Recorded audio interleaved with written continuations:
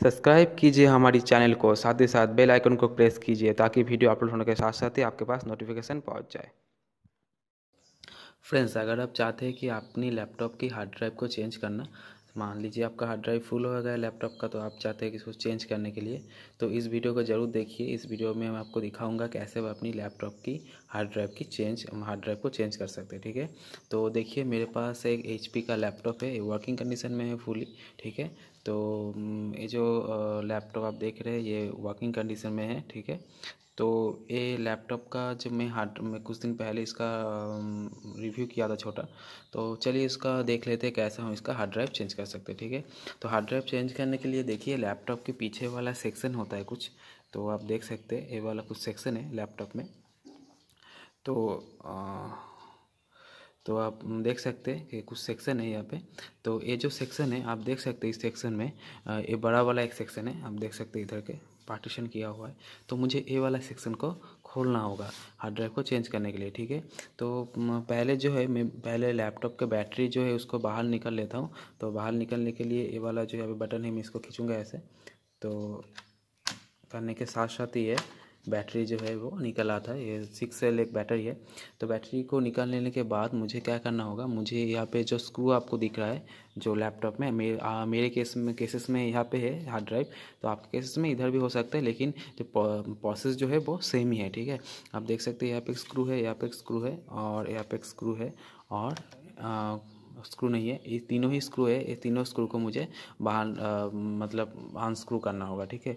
इसलिए मैं six head का यूज़ करूँगा मतलब ये जो स्क्रू है शायद सिक्स हेड है या फोर हेड है, नहीं शायद दो फोर हेड है तो मैं फोर हेड का यूज़ करके इसको खोल लेता हूँ फटाफट से, ठीक है?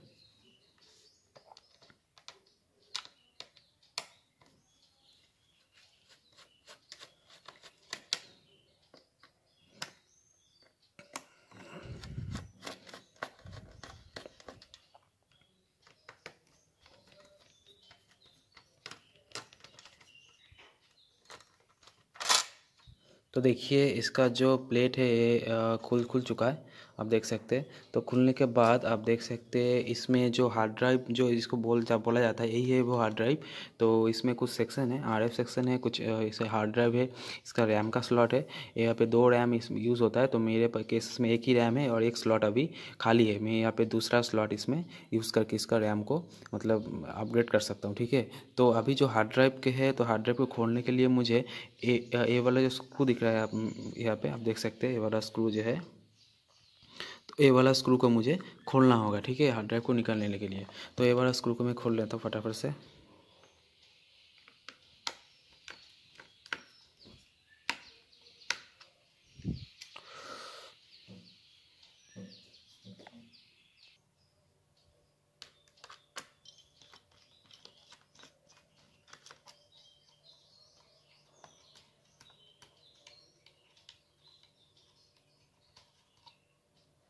तो फ्रेंड्स देखिए, जो स्क्रू था, इसको मैं खोल चुका हूँ हार्ड ड्राइव का।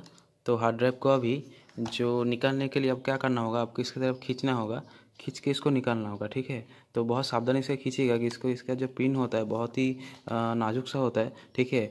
उसके पहले यहाँ पे और एक पिन है, आप देख सकते हैं, यहाँ पे और एक स्क्रू है, इसको भी मुझे खोलना होगा, ठीक है? दो स्क्रू है, यहाँ पे और एक स्क्रू है, इसको मैं खोल लेता हूँ।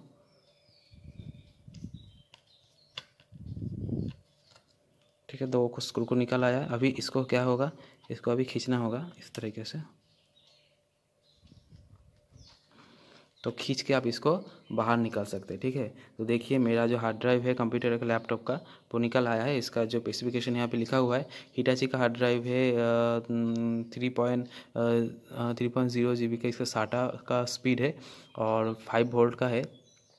और इसका कैपेसिटी जो लिखा हुआ है वो है तीन सौ बीस शायद कहाँ भी लिखा हुआ है कैपेसिटी एक मिनट रुकिए मैं दिखा देता हूँ आपको कैपेसिटी जो लिखा हुआ है। आ,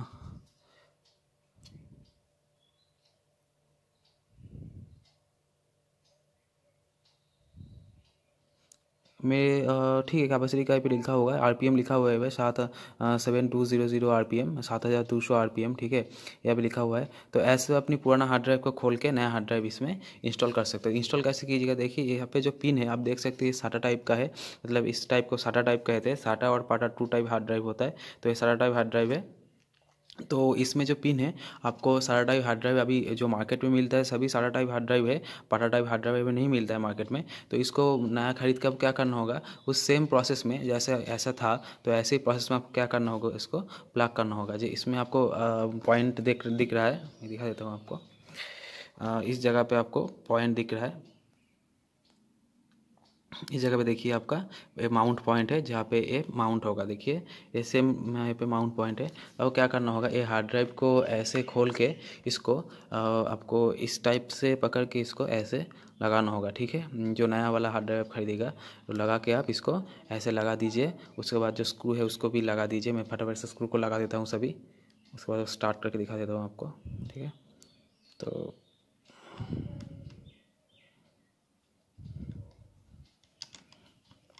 स्क्रू को लगा दिया दूसरा स्क्रू को लगा देता हूँ।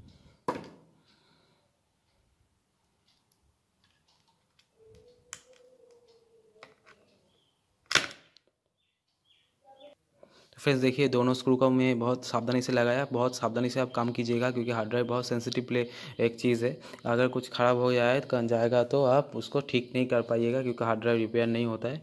नॉर्मल इन्वायरमेंट में अगर आप हार्ड ड्राइव को खोलिएगा, वो क्रैक हो जाएगा वैसे ही। तो इसको बहुत सावधानी से आप खोलिएगा और अटैच कीजिएगा। उसके बाद जो प्लेट है, उसको लगा दीजिए। जैसे पहले था तो वैसे ही लगा दीजिए इसको। मैं लगा देता हूँ इसको। ठीक है, उसके बाद स्क्रू जो है, उसको कस दीजिए।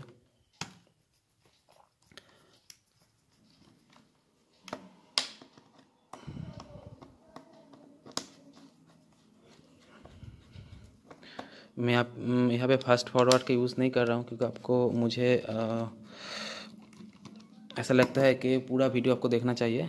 तो मैं लगा दे इसको उसके बाद बैटरी को अटैच कर देता हूँ। ठीक है?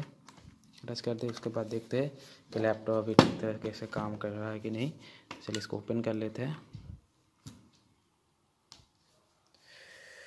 तो, तो देखिए आप लैपटॉप का जो विंडोज़ जो है वो लोड हो चुका है, यानी कि हार्ड ड्राइव अभी ठीक तरीके से अटैच हो गया है, ठीक तरह से, तरीके से काम कर रहा है। ऐसे अपनी नया हार्ड ड्राइव को अपनी कंप्यूटर में या लैपटॉप में आप इंस्टॉल कर सकते हैं। तो वीडियो पसंद है तो लाइक कीजिए, कमेंट कीजिए और चैनल को ज़रूर सब्सक्राइब कीजिए। Thank you for watching my video.